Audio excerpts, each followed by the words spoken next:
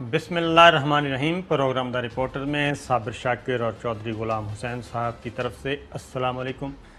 आज काफ़ी हमारे पास ख़बरें हैं और ख़बरें ज़रा पाकिस्तान की सियासत के बारे में भी हैं और कुछ आ, क्या कहना चाहिए अफ़गानिस्तान से बहुत ताज़ा तरीन है।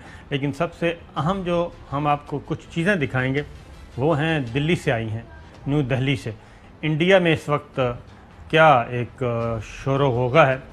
हम ज़रा उस कोहराम के बारे में आपको वीडियोस के ज़रिए दिखाएँगे। इंपॉर्टेंट चीज़ें हैं आपको ज़रा बड़ा मज़ा आएगा। और अगर आपने कभी खुश नहीं हुए तो आज खुश होंगे आप। फिर आपने कभी अगर कोई बेवकूफ़ नहीं देखे तो बेवकूफ़ भी आपको दिखाएँगे। ये साबिक सा, सारी चीज़ें आपको आज दिखाएँगे। लेकिन सबसे पहले चौधरी साहब के पास चलते हैं। और पंजाब में एक बार फिर चीफ सेक्रेटरी और आईजी पुलिस तब्दील कर दिए गए हैं। जय साहब क्या हुआ आपके पास?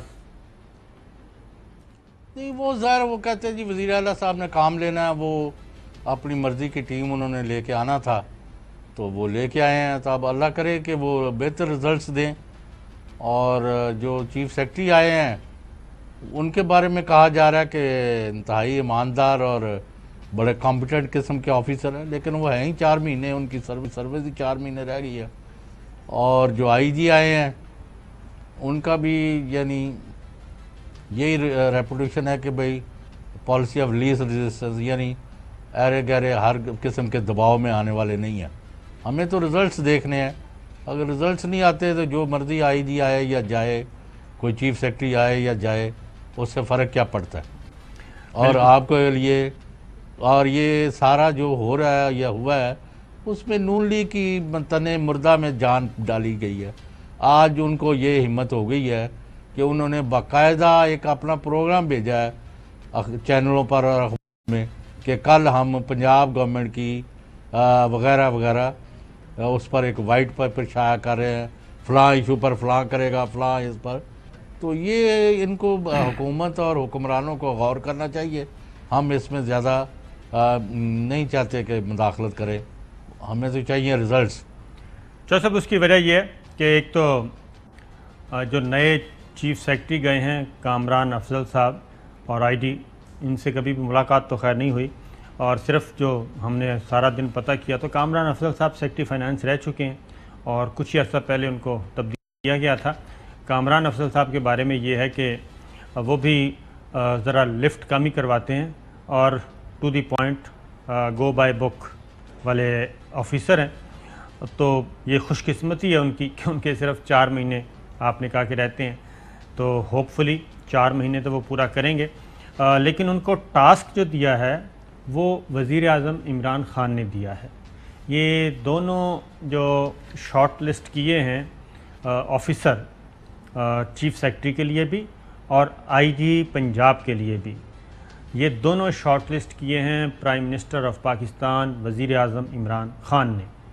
तो दूसरी आईडी जो लगाए गए हैं, राव सरदार साहब, उनका ताल्लुक साउथ पंजाब से है, लोधरा से, और 1965 में वो दुनिया में तशरीफ़ लाए और वो एम बी पी एस भी किया हुआ उन्होंने, मेडिकल डॉक्टर भी हैं वो, और उसके बाद फिर उन्होंने 1990 में पुलिस सर्विस ज्वाइन की।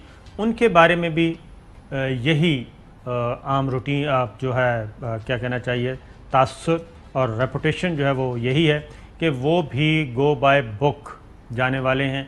तो अब इनका निभा कैसे होगा? असल मसला ये है कि किस तरीके से ये सरवाइव करेंगे पंजाब में? क्योंकि पंजाब में आपको पता है लोधरा से उनका ताल्लुक़ है, साउथ पंजाब से। उधर फिर साउथ पंजाब एलिमेंट आपको मालूम है कि पहले से मौजूद है जहांगीर तरीन। और एक होता है ताल्लुक़ वास्ता तो। तो ये सारी चीज़ें कैसे चलेंगी? मुझे तो लगता है कि बहुत जल्द गड़बड़ शुरू हो जाएगी। गड़बड़ तो क्या होनी है? मतलब लोग ये भी कहते हैं कि राव सरदार जो है वो मुस्लिम लीग नून के बड़े चहेते हैं। यानी ये भी प्रोपागेंडा किया जा रहा है। फिर आपने कहा साउथ से हैं, लेकिन ये इनकी शादी, आपको पता है ये कबूला और आरफ वाला ये जो जी पाकपटन ज़िले में हम्म। ये जो टिक्का फौत हो गए इकबाल टिक्का हाँ वज़ीर जो थे जी हाँ जी हाँ। ये वो ये उनके यानी बांजी है इनके घर है ठीक है राव सरदार के तो उनकी भी इनकी करीबी रिश्तेदारी है लेकिन हमें रिज़ल्ट चाहिए जी हमें तो कोई बात ये है। ये जो बात मैं इसको नहीं मानता ये जो कहते हैं ना कि ये फ़लाँ मुस्लिम लीग नून का है और फ़लाँ पीपल्स पार्टी का है और फ़लाँ पीटीआई का है तो मसला ये है कि गवर्नमेंट होती है और गवर्नमेंट ने ब्यूरोक्रेसी ने तो यही रहना है। ब्यूरोक्रेसी को बाहर से तो आती नहीं है और ना ही ये मुस्लिम लीग नवाज़ या पीपल्स पार्टी या पीटीआई के दौर में ये सीएसएस करके और नंबर मार्किंग इन्होंने की होती है। ऑफिसर तो यही हैं। ब्यूरोक्रेसी तो यही असल फ़न है। आपने सिविल ब्यूरोक्रेसी से काम कैसे लेना है? ठीक है ना? ये ये मसाइल हमें सिर्फ़ सिविल साइड पे मिलते हैं। मिलिट्री साइड पे ये मसाइल नहीं मिलते। और वहाँ पे ये नहीं देखा जाता कि कौन किसका रिश्तेदार है, वो उसके रिश्तेदार था, वो उसके दौर में ये था, उसका ब्लू आइड ये तो नहीं होता। तो ये तो डिपेंड करता है पॉलिटिकल लीडरशिप पे कि उन्होंने कैसे इस्तेमाल करना है। यही ऑफिसर मुस्लिम लीग नवाज़ के दौर में भी काम करते रहे पीटीआई के दौर में भी काम करते रहे और पीपल्स पार्टी के भी। तो ये मैं नहीं इस चीज़ को मानता कि किसी भी ऑफिसर पे आप ठग करके लगा दें स्टैंप कि जनाब। ये तो फलां का है। तो अगर राव सरदार साहब हैं या कामरान अफजल साहब मेरे से अगर पूछे जी सर। नहीं नहीं जो इनाम गनी ने किया है जी। माफ़ करना। मुझे तो अभी तक अभी तक I am at a loss of understanding कि अभी तक मुझे वजह नहीं समझ लगी कि इनाम गनी को कोई निकाला गया। उन्होंने डेढ़ सौ से ज़्यादा अफसर जिनके ऊपर करप्शन और लूटमार का और क्राइम के ऊपर सरप्रस्ती का दाग था उन्होंने पकड़ के बाहर फेंक दिया। और उनको कहा गया जी, जनाब रिज़ल्ट नहीं मिलेंगे। उनका लानत भेजो ऐसे रिज़ल्ट पर, जो चोरों डाकुओं को पोजीशन पर बिठा के लिए जाए। इससे और क्या करता वो? आपका, आपकी वजह कोई समझ नहीं लगती कि किसको क्यों रख रहे हो, क्यों हटा रहे हो। आज तक मुझे आप नहीं बता चुके कि सुलेमान आज़म या आज़म सुलेमान जो चीफ सेक्रेटरी थे, जिन्होंने जिन्होंने पंजाबी च कहता नथ पाजती सी, उस बंदे क्यों कढ़िया गया? तो ये आप बताएँ ना। आपको पता तो क्या बताएँ? अब रोना रोते रहे हम तो हमारा आप आप बात करें ना देखे ना मुझे कोई आप जब भी कोई पूछे कि गुलाम हुसैन ओ जनरल जियाउल्ला का दोस्त गुलाम हुसैन ओ फारूक लगारी का दोस्त वो गुलाम हुसैन जो इमरान खान का हमायती ये है लोग कहते हैं कि नहीं कहते? जी हाँ बिल्कुल। तो फिर ये तो कोई ना कोई छाप तो लग जाएगी। तो सब मैं मैं फिर वही कहूँगा कि अगर अगर कोई ऑफिसर मुस्लिम लीग नवाज़ के दौर में पीपल्स पार्टी के दौर में रिज़ल्ट दे रहा था तो भाई वो तो फिर अच्छे लोग थे ना? तो ये- आपने क्या रिजल्ट्स दिए हैं? मुझे वो वो बता दें। हाँ तो ये तो हमारी पॉलिटिकल लीडरशिप ने लेना है ना रिज़ल्ट चॉइस साहब। ये मैंने और आपने तो नहीं लेना। ये तो कैप्टन का काम है। वो प्रोविंशियल कैप्टन है या फेडरल कैप्टन है उनका काम है। तो ये ये जो रीशफलिंग है बहुत ज़्यादा ज़रूरत से ज़्यादा ये भी तो सही नहीं है ना?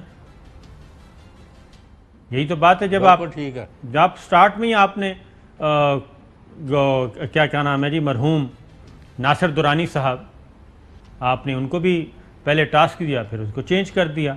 तो ये जो ऑफिसर्स चेंज हो रहे हैं और अब एक नया नैरेटिव देने की कोशिश की गई नहीं नहीं जनाब ये अब हम इंडिपेंडेंट हो गए हैं। इंडिपेंडेंट कोई नहीं है वो सारा वही चल रहा है।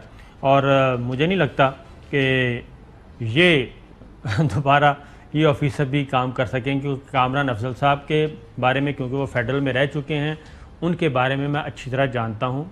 मुलाकात हुए बगैर कि वो कोई लिफ्ट करवाने वाले नहीं हैं और वो कोई कोई आपका क्या मतलब है लिफ्ट कराने? असि कोई रिश्तेदारी करनी है मैं- मैं- ने होते कोई? चोरी फड़ानी तो है। यही तो मैं कह हम उनको बताते हैं कि यहाँ चोरी है यहाँ डाका है यहाँ लोगों की हक तलफी हो रही है यहाँ तबाही हो रही है यहाँ लोगों से पैसा लूट लूटा जा रहा है यहाँ लोगों से रिश्वत लेके उधर बांटे जा रहे हैं।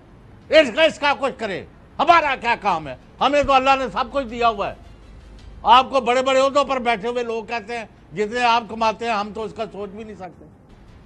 कहते हैं कि नहीं कहते? जी हाँ। तो और और हमें क्या चाहिए? हमने क्या लेना है? वो फलां जी, वो मिलता नहीं किसी से। वो अच्छा फिर एक और जुमला, कर सकता हूँ, नहीं करूँगा। अच्छा कोई ईमानदार है, वो अपनी ईमानदारी उठाई फिर रहा कि किसी का हो ना जाए काम। और क्या तमाशा लगाया हुआ तुमने? पाकिस्तान में इससे ज़्यादा नॉट ऑफ़ दिस टुडे या टुमारो यानी जनरली जो है, जो नीचे की तरफ़ सफ़र है, वो नहीं रोक रहा। मुझे माफ़ी दे दे मैं यानी जो इतना बददिल हूँ सिचुएशन से कि I can not explain any further चलें जो साहब। यानी आप आगे बढ़ते हैं इससे बड़ी बड़ी खबरें ज़रा थोड़ा सा माहौल को ठीक करते हैं क्योंकि ये तो इसी तरह चलता रहेगा। और आखिरी साल है इलेक्शन की तैयारी है तमाम सियासी जमातें इंतबात की तैयारी कर रही हैं काउंट डाउन शुरू हो चुका है और ये काउंट डाउन कब ख़त्म होना है ये जानने वाले बहुत अच्छी तरह जानते हैं। तो सूरत हाल है जी कि हम चलते हैं ज़रा army chief general Qamar Javed Bajwa. कल डिफेंस डे था और योम शहदा भी मनाया गया, योम दिफा भी मनाया गया।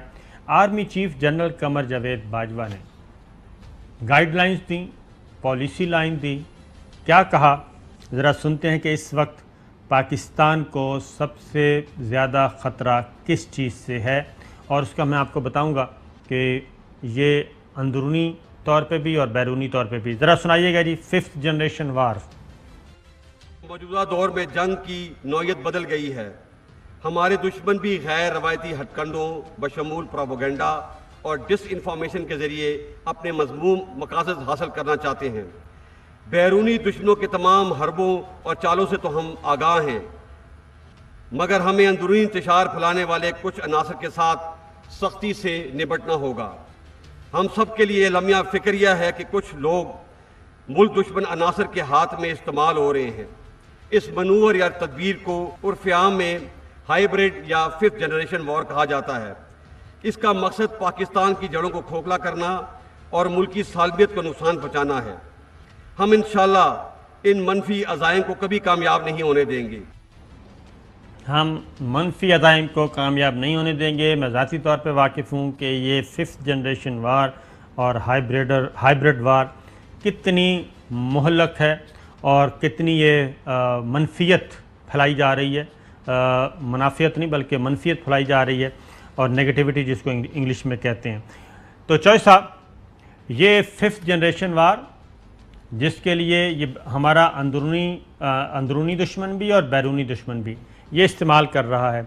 अब ज़रा बताते हैं जी आपको फिफ्थ जनरेशन वार होती क्या है। अभी पंशेर जो है पंशेर वादी वहाँ पे शिकस्त हुई है तालिबान ने उसका कंट्रोल हासिल कर लिया है। और उस पे ज़रा दिखाइएगा जी अ, वो ट्वीट क्योंकि इसमें हमारे एक इंडियन अ, इंडिया भी दिखा रहा है और का- जो क्या कहना चाहिए मुझे लगता है कि ये कोई नॉर्दर्न अलाइंस का कोई बंदा है। नूर कुरैशी, उसने ट्वीट किया है। और ट्वीट में उन्होंने कहा है कि ये जो पाकिस्तानी कमांडोज़ हैं, कर्नल आदिल जो हैं, वो मारे गए हैं इसमें पंशेर में लड़ाई में। ऊपर पश्तो है और नीचे और नीचे जो तस्वीर दी हुई है, ये बड़ी मज़े की है। और कर्नल आदिल की ये तस्वीर दिखाई है उन्होंने। तो ये कर्नल आदिल साहब, माशाल्लाह से जो ये दिखाए गए हैं साहब, ये जी ज़िंदा हैं और पाकिस्तान में मौजूद हैं। और बहुत ज़्यादा फ़नून लतीफ़ा से वाकिफ़ हैं। और हम दिखा देते हैं जी ज़िंदा सलाम। अच्छा चलें, अभी नहीं है हमारे पास। ये है जी डॉक्टर आमर लियाकत साहब और ये है फिफ्थ जनरेशन वार। उसके बाद पंशेर में एक लड़ाई लड़ी जा रही है, लड़ाई लड़ी जा चुकी है बल्कि ज़रा इंडिया उस पर क्या क्या कह रहा है जी दिखाइए। जी, सबसे पहले तो जी पंशेर पंशेर में जब लड़ाई शुरू हुई तो इंडियन मीडिया क्या कह रहा था? ज़रा दिखाएँ।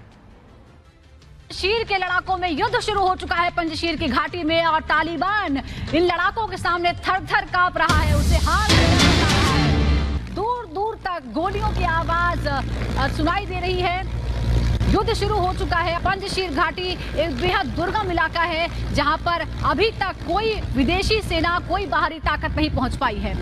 और उसी में अब तालिबान को भी ऐसा ही हाल होने वाला है। नदन अलायंस और तालिबानी आतंकी आमने सामने हैं। पंजशीर की घाटी में तालिबानी आतंकी खौफ में है। तालिबान के आतंकियों के माथे पर मौत को देखकर, क्योंकि जिस पंजशीर घाटी में वो घुसने की फिराक में है, वो उनकी मौत की वजह बनेगी। तालिबान कहीं टिक नहीं सकता। तालिबान कहीं टिक नहीं सकता। अच्छा जी मैं आपको बता दूँ हमारे साथ अफ़गानिस्तान में पाकिस्तान के सफ़ीर मंसूर अहमद खान साहब हमारे साथ मौजूद हैं। मंसूर साहब सलाम अलैकुम जी वालेकुम सलाम साबिर साहब बहुत शुक्रिया थैंक यू सर आप इस वक्त टीवी तो नहीं देख सकते ले, लेकिन आप इंडियन मीडिया के कुछ चीज़ें हम आपको सुनवा रहे हैं वो ज़रा सुन लें। मैं कहता हूँ आप ज़रा थोड़ा सा टेंस माहौल में हैं काबुल में तो आप भी ज़रा थोड़ा सा रिलैक्स हो जाएँ कि इस वक्त इंडियन मीडिया काबुल के बारे में और पंजशेर के बारे में क्या कह रहा है, ताकि आपको गुफ्तु करने में आसानी होगी। ज़रा सुनाइएगा जी दूसरा शॉट आपको वो मेन गेट दिखाते हैं, जहाँ से पंशीर के अंदर एंट्री होती है, लेकिन वहाँ जाना कितना ज़्यादा मुश्किल है। कोई जा भी सकता है तो सिर्फ़ और सिर्फ़ पंशीर के जो योद्धा हैं, उनकी रजामंदी के बाद ही जा सकता है। और ये जो ऊँची ऊँची पहाड़ियाँ आपको इन गेट के आसपास नज़र आ रही है, यही सबसे बड़ी चुनौती बनी हुई है उन तालिबानियों के लिए कि आखिर इस गेट के अंदर जो है कैसे एंट्री की जाए, क्योंकि यहाँ पर पंशीर के जो लड़ाके हैं, वो 24 घंटे सातों दिन लगातार जो है पहरा दे रहे हैं। पंशीर घाटी को आप समझ सके क्यों तालिबानी क्यों के लिए सबसे बड़ी चुनौती बन चुकी है पंशीर घाटी। ये पंजशेर पंजशेर में कौन लड़ रहा था? अमरुल्ला साले कहाँ था? अहमद मसूद को कौन सपोर्ट कर रहा था? ये तो हम आपको बाद में बताएँगे। फ़िलहाल आप देखते जाएँ। जब ये गेम पलट गई, तालिबान अंदर दाखिल हुए, हफ़्ता दस दिन लड़ाई हुई और लड़ाई के बाद जब तालिबान ने ऐलान किया कि जी हमने कंट्रोल हासिल कर लिया है, उसके बाद ज़रा कैसे पैंतरा बदला फिफ्थ जनरेशन वार और हाइब्रिड जंग। सुनाइए जी। पंशीर जंग में पाकिस्तान के शामिल होने का पहला सबूत, बड़ी खबर। पंशीर में मंडराते दिखे पाकिस्तानी ड्रोन, सीधे प्ले करें विजुअल्स को। पाकिस्तानी ड्रोन ने नॉर्दर्न अलायंस के ठिकानों पर बरसाए बम, और ये चीनी माल है। अब यहाँ पर जो समझ, ये देखें आप। मैं चाहूँगा फुल फ्रेम पे जरा विजुअल दिखाएँ।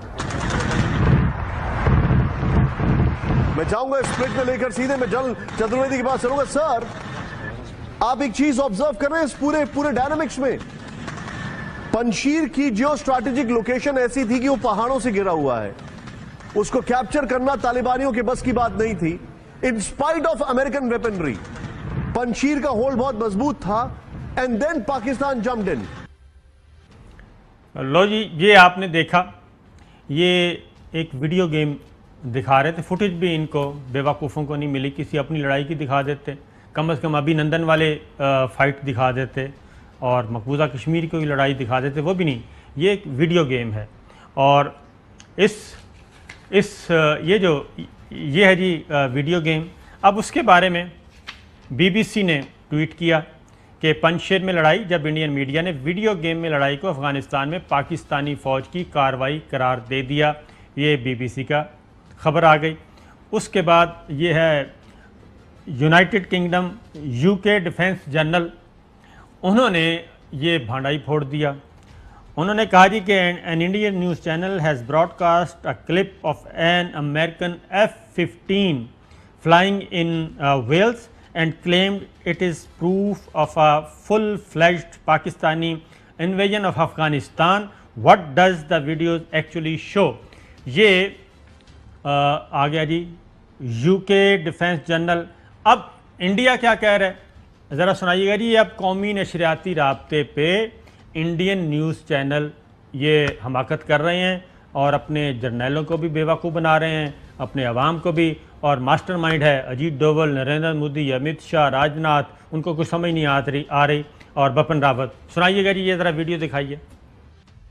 Breaking news coming in. We've got latest visuals of yet another tranche of Pakistani fighter jets that can be seen soaring the skies in Panjshir. These are the fighter jets that you can see on your screen, facilitated by Pakistan to aid the Taliban forces as they try to crush the resistance that is being offered by the forces in the valley. If you look at this footage and this visual, that clearly shows this is a conventional warfare they are resorting to to crush resistance movement there in Panjshir Valley.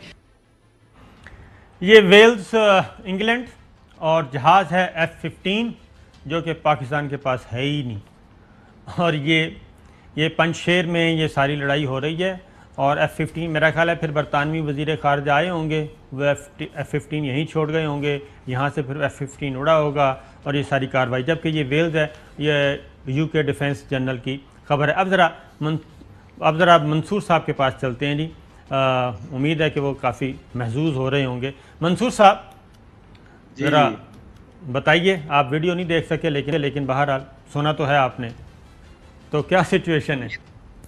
देखिए, जो ये India का, के media की जानब से और उनकी सोशल वेबसाइट्स की जानब से जो जो प्रोपेगेंडा किया गया है, ये बेबुनियाद है, हकीकत से बिल्कुल जुदा है। और ये आपने खुद भी बताया कि ये तो अब इस हकाइक की नज़र में साबित भी हो चुका है। पाक, असल में वजह यह है कि पाकिस्तान का जो स्टैंड है, पाकिस्तान की जो पोजीशन है, वो जस्टिफाई हुई है। पाकिस्तान इंटरनेशनल कम्युनिटी के साथ मिलकर बहुत अरसे से ये कह रहा है कि अफ़गानिस्तान के मसले का कोई फौजी हल नहीं है बल्कि इस यहाँ के मसले का सियासी हल है। और यही पाकिस्तान की पोजीशन अब भी मौजूद है और हमने ये भी हमारी ये भी पोजीशन रही है कि जो अफ़गानिस्तान के अंदर चाहे खा वो पंशेर का मामला हो या खा किसी और आ, मामले पे डायलॉग हो ये अफ़गानिस्तान का अंदरूनी मामला है। हम जो बुनिया, बुनियादी तौर पर बैन अवी बरदरी के साथ मिलकर जिस बात पे ज़ोर दे रहे हैं वो ये है कि अब यहाँ पे एक 40 साल से ज़्यादा जो जंग चल रही है, उसका खात्मा होना चाहिए और एक सियासी मुफाहमत के ज़रिए एक हकूमत, एक निज़ाम का क़्याम अमल में आना चाहिए, जिसमें तमाम अफ़गानिस्तान की तमाम कौमियतों की शमूलियत होनी चाहिए। यहाँ पे ह्यूमन राइट्स और ह्यूमैनिटेरियन इश्यूज़ की रिस्पेक्ट होनी चाहिए। अफ़गानिस्तान का इंटरनेशनल कम्युनिटी से एंगेजमेंट होनी चाहिए। इसीलिए हम इस वक्त एंगेज हैं ह्यूमैनिटेरियन और रिलीफ वर्क में। हमारा फोकस किसी भी प्रोपेगेंडा पे नहीं है। हम यहाँ पे बुनियादी तौर पे अफ़गानिस्तान के लिए जो गज़ाई अजनास की किल्लत हो सकती है या यहाँ पे अब सर्दी आ रही है, उसमें जो यहाँ पे एक सर्दी की वजह से सर्दी की शिद्दत की वजह से लोगों के लिए मुश्किल आ सकती हैं। उसमें हाँ। हमारा अब फोकस है रिलीफ वर्क पे। और फिर हम चाहेंगे कि अफ़गानिस्तान में एक मुस्तकम हुकूमत का साहब। आपसे सवाल करना चाह रहे हैं मंसूर साहब। जी चौधरी साहब। जी जी। मंसूर साहब अस्सलाम your excellency although Pakistan is keeping out of internal situation of Afghanistan और उनको जिधर जिधर कोई हमायत या एडवाइस की ज़रूरत है पाकिस्तान एक्सटेंड कर रहा है। लेकिन एक खुफिया तरीके से और फिफ्थ वारशिप क्या वो क्या वो? फिफ्थ जनरेशन वार वार हाँ फिफ्थ जनरेशन वारफेयर के तहत प्रोपेगेंडा फैलाया जा रहा है दो शक्लों में। नंबर एक कि पाकिस्तान के ख़िलाफ़ कई कई जगह पर मुजाहरे हो रहे हैं काबुल से कंधार कंधार से पंशेर और गजनी और हरात। एक तो इसके बारे में बताएँ और नंबर दो, आया पाकिस्तान की किसी भी सतह पर कोई भी मिलिट्री इन्वॉलमेंट है नहीं, पाकिस्तान की किसी भी सतह पर कोई किसी किस्म की ना मिलिट्री, ना दूसरी इन्वॉल्वमेंट है, सिर्फ़ हमारी एक सपोर्ट अफ़गानिस्तान के लिए, क्योंकि अफ़गानिस्तान बुनियादी तौर तो पर हमारा हमसाया मुल्क है। यहाँ पे अमन लाने के लिए जो डिप्लोमेटिक और पॉलिटिकल सपोर्ट वो मौजूद है। जहाँ तक आपने जो पाकिस्तान की जो एफर्ट्स हैं, पाकिस्तान की जो कोशिशें हैं गुज्त दो तीन साल में जो यहाँ पे पीस प्रोसेस को आगे ले जाने में और जो यहाँ पे अमन लाने में वो कोशिशें हैं, उनकी बड़ी पजीराई है। यहाँ पे पाकिस्तान ने अहम तरीन खबरें अब एक क्लिक की दूरी पर। आपके पसंदीदा टॉक शोज़ हों या अहम मुल्की या गैर मुल्की शख्सियात की न्यूज़ कॉन्फ्रेंसेस हर लम्हा बाखबर रहने के लिए सब्सक्राइब करें हमारा यूट्यूब चैनल मौसम की सूरत हाल हो या खेल के मैदान से खबरें, अपने मोबाइल फ़ोन से मुल्की और बैन अवी अहम खबरों तक रसाई के लिए डाउनलोड कीजिए मोबाइल ऐप बावसूख जराये से मुसदा खबरों तजियों और तबसरों से मुस्तफ़ होने के लिए विज़िट कीजिए पाकिस्तान की सबसे बड़ी न्यूज़ वेबसाइट, www.arynews.tv इन सब के अलावा पाकिस्तान का सबसे बड़ा फेसबुक पेज हो, सबसे बड़ा न्यूज़ इंस्टाग्राम अकाउंट या फिर Twitter A R Y news पहुँचा रहा है खबरें सबसे पहले आप तक, ताकि आप रहें हर लम्हा बाखबर।